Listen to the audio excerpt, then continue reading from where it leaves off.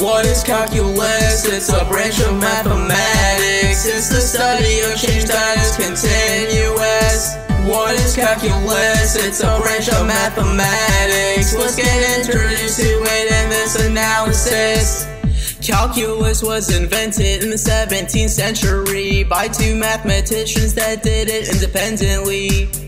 They were Sir Isaac Newton of England, yeah, he's famous, and also a guy from Germany named Gottfried Wilhelm Leibniz. Newton discovered the fundamental theorem of calculus around 1670, but he did not publish his findings for the world to see. Meanwhile, Leibniz published his work in 1684, which led to a dispute and some controversy to explore. Calculus is the branch of math dealing with continuous change. Just like how geometry is the study of shapes. Calculus is used in many different fields, I'm convinced, like physics, medicine, and economics. It's also used in computer science and engineering, as well as the music industry, I'm not lying. There are two main branches to know inside of calculus, differential and integral chorus. What is calculus? It's a branch of mathematics. It's the study of change that is continuous.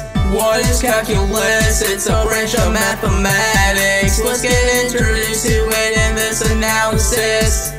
Differential calculus and integral calculus. Yeah, those are calculuses, two main branches. Differential calculus measures the instantaneous rates of change. That's also called the slope, and it's not that strange. You can find the slope of any tangent line along any lines or curves in sight. If you want to know how fast a car is moving at a certain moment, you can use differential calculus to find the speed at any position. Meanwhile, integral calculus is a bit different to observe. It's used to find the area that is under any curve. This is what the symbol for integration in calculus looks like. It represents a tall letter S cause it's the sum that's right. An example would be if you want to know how far a car has moved in a certain amount of time, integration's what to use.